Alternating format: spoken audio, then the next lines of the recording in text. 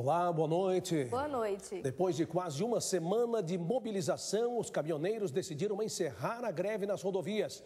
Em reunião ontem em Brasília, o governo atendeu parte das reivindicações da categoria. Mesmo assim, hoje ainda havia bloqueios em estradas do sul. A paralisação trouxe impactos no abastecimento de produtos em vários estados.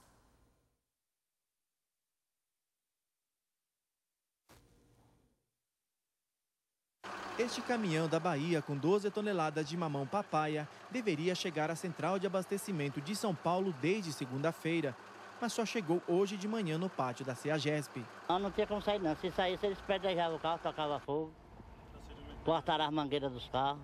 A fruta nesse estado de maturação só pode ser vendida até amanhã. Para não perder tudo, a caixa de 8 quilos, que antes era comercializada por 17 reais, agora será oferecida por 5. A fruta era, na verdade, para chegar nesse ponto aqui, segunda-feira, né?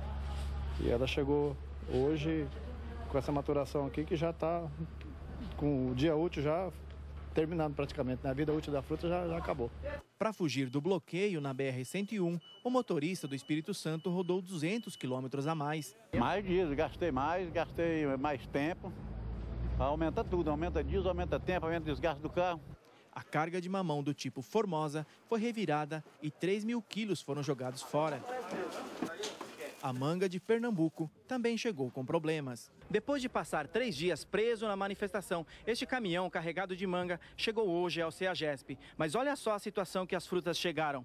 Algumas estão murchas, outras já apodreceram e pelo menos 20% da carga vai para o lixo. Só em manga tenho dois. E abacaxi tem mais de cinco caminhões ainda para chegar. No entreposto de abastecimento de São Paulo, houve queda de 10% na entrada de produtos vindos do sul do país, como ameixa, maçã e pera. Verduras e legumes não tiveram impactos porque são produzidos em cidades vizinhas à capital. Você tem um volume menor, quer dizer, uma oferta menor e a procura é praticamente a mesma. Então isso aí ocasiona um aumento de preço. Buracos no estoque, porque três carretas de uva, pêssego e nectarina vindas do Chile ainda enfrentavam bloqueios hoje pela manhã no Paraná, Santa Catarina e Rio Grande do Sul. O protesto foi motivado por causa do preço do diesel e o valor pago pelo frete. Após quatro dias de greve e com rodovias trancadas em 14 estados, o governo e a categoria chegaram ao acordo.